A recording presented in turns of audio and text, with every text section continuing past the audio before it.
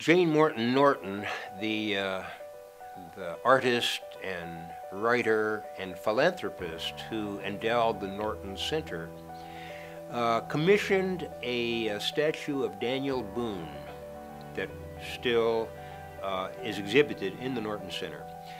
And she wanted him looking out at sinking spring. When the town was founded, it was founded around the spring, and in particular the Presbyterian Church was planted by David Rice on the hill above the spring. And since the college grows out of the church, I think the church's location really determined the college's location on the other side of the spring. It clearly was the reason that people settled here. You have to settle around water. The college uh, located here surely had something to do with its juxtaposition with the spring. The Centre was founded in 1819, but the story really goes back to the founding of Transylvania in 1780. And Transylvania was founded here in Danville by Father David Rice, who was the pastor of the Presbyterian Church. After a few years, Lexington was significantly bigger than Danville, so the college moved there. And the Presbyterian Church maintained a relationship with it, but there was always a tension between the Enlightenment types versus the church people. So several times, Transy cut its ties with the church, and the church, the Presbyterian Church, then started counter institutions. Most great things start over a drink. And probably Centre College started in the tavern. In Mrs. Davenport's tavern, which was downtown Danville, on the third floor, there was a meeting. This was after the charter was granted by the state legislature. There was a meeting of about a dozen people, the likes of whom were Isaac Shelby, Dr. Ephraim McDowell, the surgeon, and they formed Centre College in that tavern in uh, February, I believe, of 1819.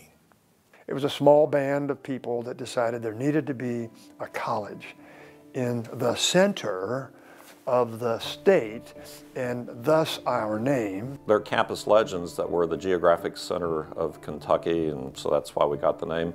It is geographic. On February 9th, 1819, just less than three weeks after Centre's charter was granted by the state legislature, the legislature granted charters to three other colleges in Kentucky. Uh, one of them was the Southern College of Kentucky, which was to be in Bowling Green.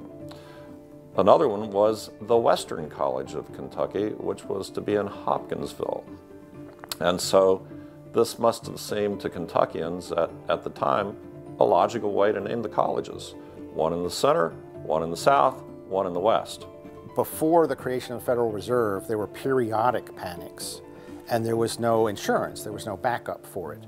So in 1819, when the college was founded, um, there was a relatively minor financial panic, which meant it was hard to raise money. And so we really limped along through the 20s. Ten years after it opened in 1830, um, it was said that uh, Centre College was without students, without reputation, and without endowment.